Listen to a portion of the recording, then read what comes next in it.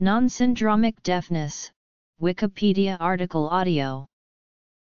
Non-syndromic deafness is hearing loss that is not associated with other signs and symptoms. In contrast, syndromic deafness involves hearing loss that occurs with abnormalities in other parts of the body.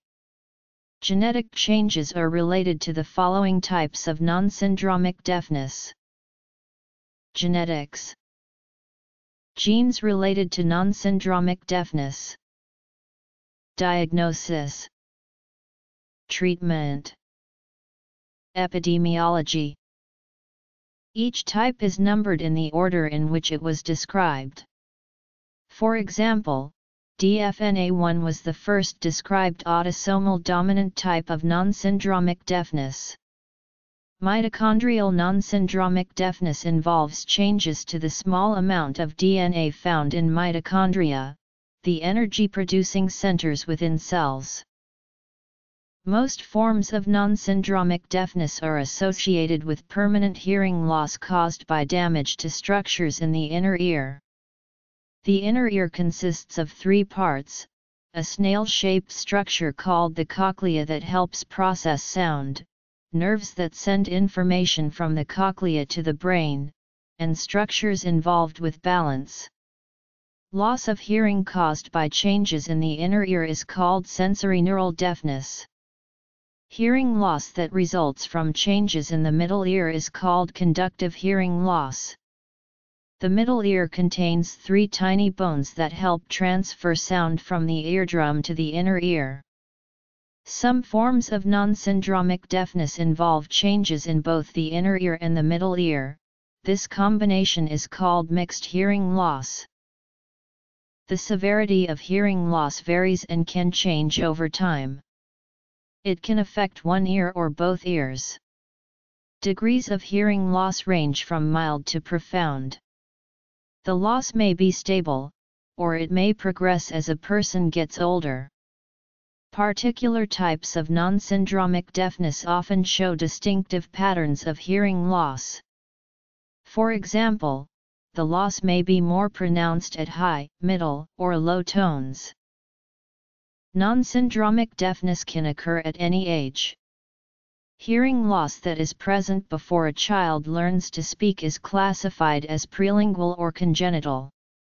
Hearing loss that occurs after the development of speech is classified as postlingual. Non-syndromic deafness can have different patterns of inheritance. Between 75% and 80% of cases are inherited in an autosomal recessive pattern, which means two copies of the gene in each cell are altered. Usually, each parent of an individual with autosomal recessive deafness is a carrier of one copy of the altered gene. These carriers do not have hearing loss. Another 20% to 25% of non-syndromic deafness cases are autosomal dominant, which means one copy of the altered gene in each cell is sufficient to result in hearing loss. People with autosomal dominant deafness most often inherit an altered copy of the gene from a parent who has hearing loss. Between 1% and 2% of cases show an X-linked pattern of inheritance, which means the mutated gene responsible for the condition is located on the X chromosome. Males with X-linked non-syndromic deafness tend to develop more severe hearing loss earlier in life than females who inherit a copy of the same gene mutation. Fathers will not pass X-linked traits to their sons since they do not pass on the X chromosome to their male offspring. Mitochondrial non-syndromic deafness, which results from changes to the DNA in mitochondria, occurs in fewer than 1% of cases in the United States. The altered mitochondrial DNA is passed from a mother to her sons and daughters. This type of deafness is not inherited from fathers. Late onset progressive deafness is the most common neurological disability of the elderly. Although hearing loss of greater than 25 decibels is present in only 1% of young adults between the ages of 18-24 years of age, this increases to 10% in persons between 55-64 years of age and approximately 50% in octogenarians. The relative contribution of heredity to age-related hearing impairment is not known, however the majority of inherited late-onset deafness is autosomal dominant and non-syndromic.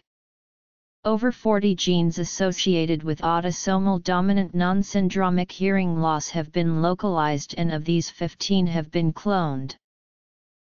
Mutations in the ACTG1, CABP2, CDH23, CLDN14, COCH, COL11A2, DFNA5, ESPN, EYA4, GJB2, GJB6, KCNQ4, MYO15A, MYO6, MYO7A, OTOF, PCDH15, POU3F4, SLC26A4, STRC, TECTA, TMC1, TMIE, TMPRSS3, USH1C, and WFS1 genes cause non-syndromic deafness with weaker evidence currently implicating genes CCDC50, DIAPH1, DSPP, ESRRB, GJB3, GRHL2, GRXCR1, HGF, LHFPL5, LOXHD1, LRTOMT, MARVELD2, MIR96, MYH14, MYH9, MYO1A, MYO3A, OTOA, PJVK, POU4F3, PRPS1, PTPRQ, RDX, SERPINB6, SIX1, SLC17A8, TPRN, TRIOBP, SLC26A5, and WHRN. The causes of non-syndromic deafness can be complex. Researchers have identified more than 30 genes that, when mutated, may cause non-syndromic deafness, however, some of these genes have not been fully characterized. Many genes related to deafness are involved in the development and function of the inner ear. Gene mutations interfere with critical steps in processing sound, resulting in hearing loss. Different mutations in the same gene can cause different types of hearing loss, and some genes are associated with both syndromic and non-syndromic deafness. In many families, the gene involved have yet to be identified. Deafness can also result from environmental factors or a combination of genetic and environmental factors, including certain medications, perinatal infections, and exposure to loud noise over an extended period.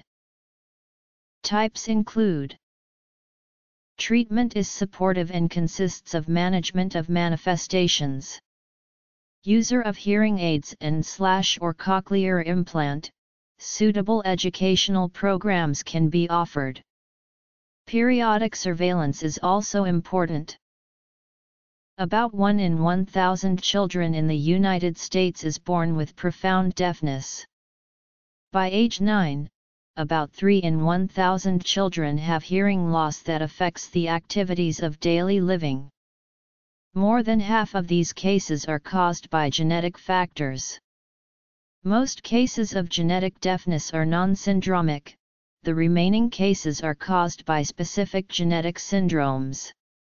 In adults, the chance of developing hearing loss increases with age, hearing loss affects half of all people older than 80 years. Ankyrin, Long QT syndrome 4. DFNA, non-syndromic deafness, autosomal dominant, DFNB, non-syndromic deafness, autosomal recessive, DFNX, non-syndromic deafness, X-linked, non-syndromic deafness, mitochondrial. Hereditary spherocytosis 1